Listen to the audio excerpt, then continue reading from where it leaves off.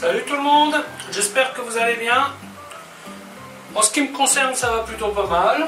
Alors comme d'habitude, on met les petits pouces, on s'abonne, on pose des questions et blablabla et blablabla. Alors aujourd'hui, euh, je vais vous faire une petite recette euh, de cuisse de canard. Je suis toujours en mode, euh, je vide mon frigo. Cuisse de canard que je vais faire avec une crème de truffe. Et aussi avec un petit peu de poivre vert.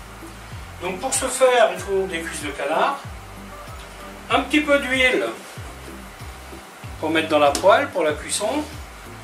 Ensuite, échalotes, carottes, flambage au cognac.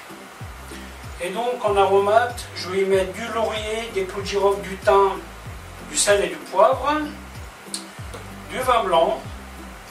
Et je ne sais pas si je l'ai déjà dit, je vais rajouter quelques petits grains de poivre vert il faut donc de la crème. Euh, je vais finir mon pot de crème épaisse, mais je pense que ça ne va pas suffire, donc j'en rajoute un petit peu. Il me restait quelques champignons de Paris qui normalement ne font pas partie de la recette, mais bon, comme ils étaient là, je vais les mettre avec. Et puis voilà, donc ça c'est des truffes que vous trouvez à gros frais. Hein, bien, pensez bien que je n'ai pas les moyens d'utiliser des truffes fraîches. la dernière fois que j'avais une truffe fraîche en main, je peux vous dire que ça date. Hein. Alors c'est plutôt pas mal, hein, souvent elles sont en promo à moins 30%. Ça vous fait le, bocal comme ça à 6 euros. Ça va, en plus elles sont bien bien parfumées, donc euh, en général un pot ça dure un peu. Par contre, euh, le conseil que je vous donne, si un jour vous utilisez une partie du pot et vous ne le finissez pas, eh bien vous recouvrez avec du vin blanc. Ça va, ça se conserver un petit peu plus longtemps. Parce que sinon, ça risque d'y avoir des petits champignons. Euh, champignons sur des champignons, c'est un peu bizarre, mais bon, voilà ce qui peut arriver.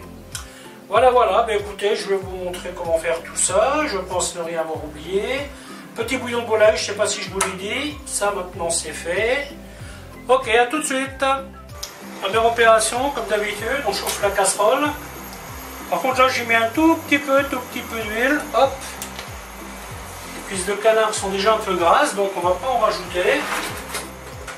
Je vais les éponger un petit peu et je vais les assaisonner. Toujours le sel composé, hein, que normalement vous devriez connaître aujourd'hui.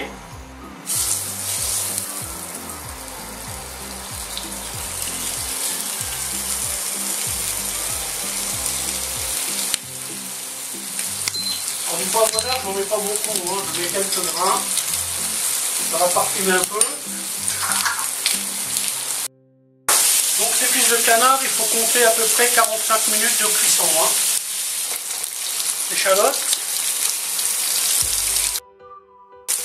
Les aromates sont faits.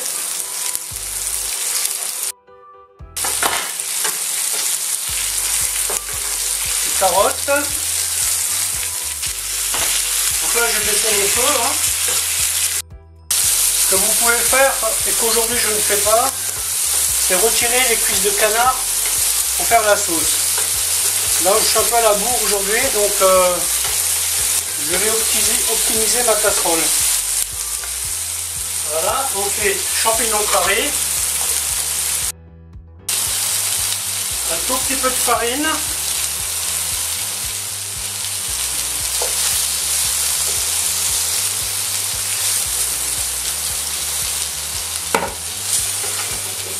je compléterai la consistance de la sauce avec une réduction.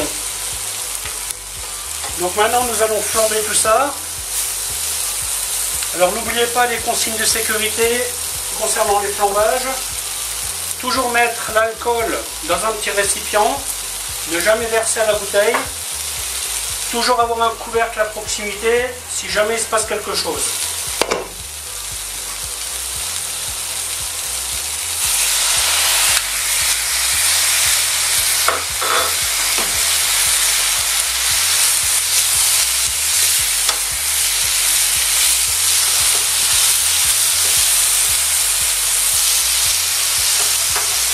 On attend que l'alcool arrête de brûler. On met le vin. Les aromates. Le bouillon de volaille. Alors si vous n'aimez pas utiliser de bouillon de volaille, vous pouvez faire sans. Le canard euh, peut donner le goût euh, à sa sauce. Hein. Mais bon, personnellement, j'aime bien des choses bien parfumées. Hein. donc euh, je mets toujours un petit bouillon avec.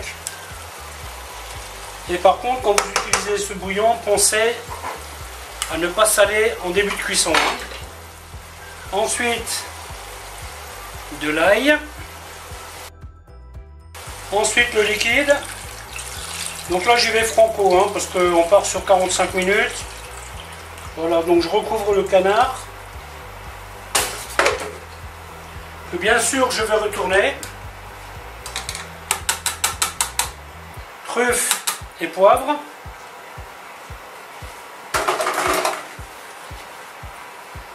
Donc à ce stade, il me manque plus qu'à mettre l'assaisonnement, la crème épaisse et un complément de crème liquide si nécessaire.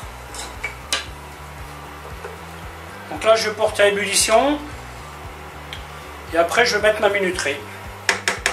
Et je vais laisser cuire tout doucement à couvert. 45 minutes. Première vérif.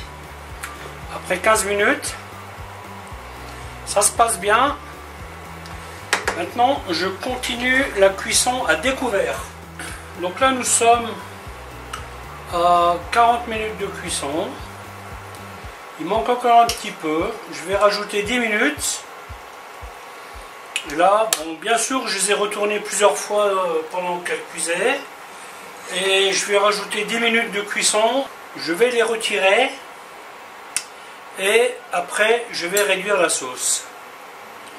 Voilà, pour le moment, il y a encore un petit travail de réduction à faire. Au niveau sel, il n'y aura rien à rajouter. D'autant plus qu'avec la réduction, ça va concentrer un peu le sel. Alors pour info, pour tester la cuisson, vous piquez. Hein. Normalement, il ne devrait pas y avoir trop de résistance. Hein. La viande est cuite. Nous allons la retirer. Et maintenant, nous allons faire réduire le jus. Donc là, je vais accélérer un peu la vitesse, la puissance du moins. Un petit check assaisonnement.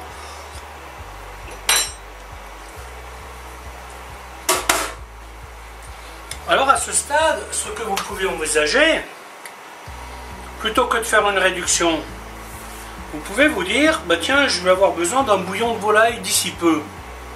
Donc vous enlevez la moitié, vous la mettez dans votre frigo et vous liez le reste. Moi, je vais plutôt finir ma sauce aujourd'hui donc avec ce que j'ai là-dedans, mais sachez que c'est une option que vous avez. Donc là, nous sommes à 15 minutes de réduction. Moment venu de rajouter la crème.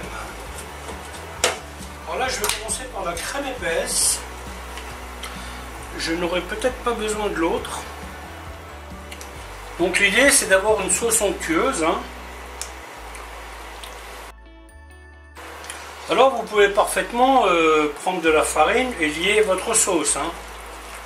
Là, moi j'ai mis un tout petit peu de farine euh, en début de cuisson. J'ai pas envie d'en rajouter maintenant. Au niveau sel, on est toujours bon.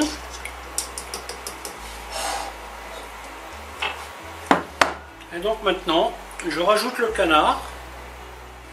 Et je vais cuire ça le temps que ma sauce soit à la bonne consistance. Tout simplement. Donc là, c'est le moment de préparer votre garniture. Hein, donc selon ce que vous allez faire. Alors sachez que je vais encore retourner cette viande plusieurs fois dans la sauce. Et euh, la garniture ici, ça sera du brocoli, donc ça va être vite fait. Et donc on va faire mijoter ça encore une quinzaine de minutes. Voilà, voilà, mais écoutez, la vidéo va s'arrêter là. En espérant qu'elle vous aura plu. Alors je vous dis à bientôt pour une autre recette. Bye bye